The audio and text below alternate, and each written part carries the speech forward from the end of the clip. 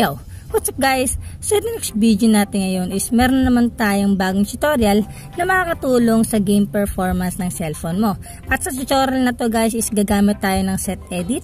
Sa mga hindi nakakaalam kung ano yung set edit, yun yung application na makakatulong para ma-enable yung mga hidden features ng cellphone mo gamit lang yung mga secret code.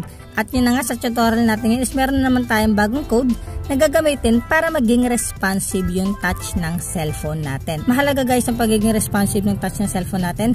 Lalo na kapag naglalaro ka ng Mobile Legends at core user ka, yung assassin user na malilikot, na kailangan na mabilis kang mag-touch sa cellphone mo. Kaya ngayon guys, isisimulan natin pero kung bago ka pala sa channel natin at kung gusto mo na magantong videos, is i-hit mo na yung subscribe button pati notification bell para naman updated ka sa mga susunod pa nating videos. So na guys, ganito lang yung gagawin natin. Una is, i-check mo muna yung pin comment natin dyan dahil dyan ko nalagay yung codes na gagamitin natin. So, ito yon Yan. Pwede naman guys na hindi nyo i-download to kung nahihirapan kayo mag-download kasi makikita nyo naman sa screen ng cellphone ko kung ano itatype. Kaso lang ang disadvantage yun guys is kailangan nyo pang i-type at i-post-post yung video para masundan. Hindi tulad kapag meron ka nito is ika-copy-paste mo na lang. So, mas madali mag-copy-paste. Pero nasa sayo kung ano yung gagawin mo. Discard mo na lang yan. So guys, once na meron na kayo neto or ready na kayo simulan yung tutorial natin, kailangan mo na lang ng application na set edit. So kung wala ka pang set edit application guys, punta ka lang ng Play Store dahil lang lang naman yan. Yan, search mo lang dito yung set edit tapos ito na yung application na yon. So okay na yan. Balik tayo sa set edit. Open na natin tong set edit. Ayan. Ito lang yung interface ng application guys. Napaka-simple. So, pero wag mo pansinin, wag mo na pansinin yung mga nakasulat niyo sa baba. Okay, hayaan mo lang yan. Then, mag-focus tayo sa una natin gagawin. Open muna natin yung, ano, yung text file na meron tayo. So, ito yon Open lang muna natin to. Tapos, ito yung mga sinasabi ko na ika-copy paste natin. So, una natin ilalagay is itong touch size. Yan. Kailangan hanggang dito lang sa letter D. Basta guys, hanggang dyan mo lang ika-copy. Yan, copy mo na yan. Tapos balik ka sa set edit. So pindutin mo lang itong yung add new settings. Tapos i-paste mo siya dito. Paste. Tapos save changes. Tapos ano yung value niya? Ito yung value niya guys. Balik tayo dito. Yung value niya is 0. So kakopyahin mo lang nakalagay dito. Ayan, 0 na. Lagyan natin dito 0. Tapos save changes. Then add new setting ulit tayo. Tapos balik tayo sa text file. Kopyahin natin tong arrow.product hanggang dito sa enable. Ayan, copy natin yan dyan. Tapos yung value niya is true. Copy natin yan. Ayan, paste natin siya dito. Tapos save changes. Then yung value niya is true. Pwede naman natin sulat kasi may clear lang naman. Tapos add new setting ulit. Balik tayo dito. Copy natin to. Ayan, copy natin. Yung value niya is 10.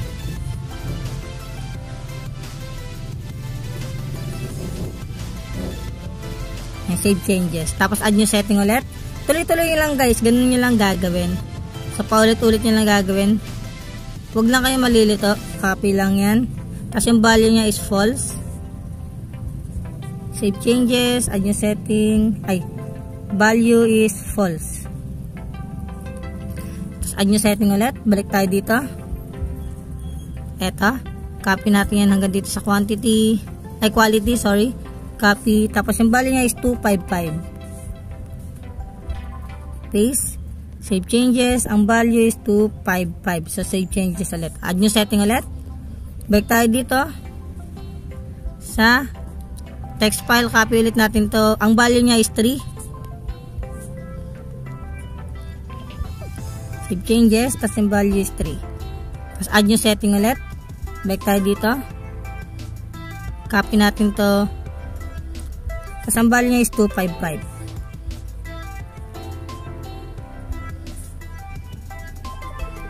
Add yung setting ulit. So, dito tayo sa GPU. Ayan. Copy. Tapos yung value niya is CPU.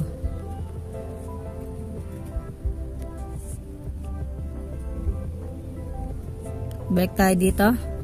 Copy ulit natin itong sunod. Ang value niya is 1.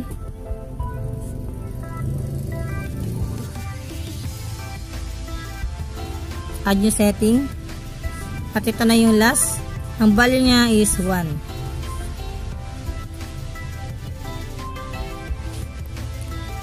So yun guys, once na matapos nyo nang ilagay yung mga codes na yon, pwede nyo nang i-close tong set edit. Tapos, ang next yung gagawin is i-restart yung phone nyo. Kasi guys, makakatulong kapag ni-restart nyo yung phone nyo bago kayo maglaro ng Mobile Legends. Kasi mare-refresh mismo yung cellphone nyo. Mawawala yung mga background processes, pati yung mga RAM usage. So, malaking tulong yun guys. Kapag nasa ganong stage yung cellphone nyo, refresh na refresh siya, magiging smooth talaga yung gameplay nyo sa Mobile Legends. Nga pala guys, pagtapos nyo ilagay yung mga codes dito sa set edit, simulan nyo na obserbahan yung cellphone nyo kung nagkaroon ba ng epekto kung gumanda ba yung performance ng cellphone mo pagkatapos mong ilagay yung mga codes or hindi. Kasi guys, kapag uh, maganda naman, nakatulong, nagdagdagan yung performance ng cellphone mo, bumilis, naging effective, walang problema yon Ibig sabihin, working na working sa'yo. Pero in case na walang nangyari, na kahit na ginawa mo yung tutorial natin kanina, parang wala lang nagbago, tapos naisip mo mukhang nakasama pa, ibig sabihin kasi nun guys is hindi compatible yung code sa cellphone mo.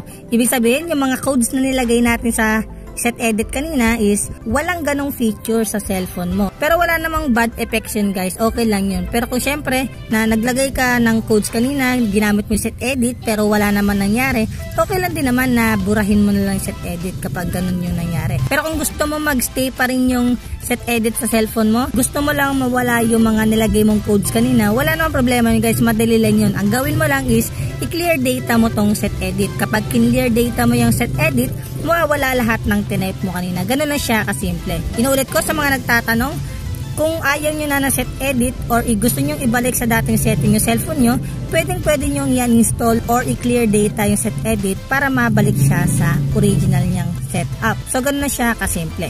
Sana guys, sana nag-enjoy kayo sa video natin ngayon at may natutunan kayo. Pero kung nagustuhan yung video natin ngayon guys, is hit mo na yung subscribe button pati notification bell.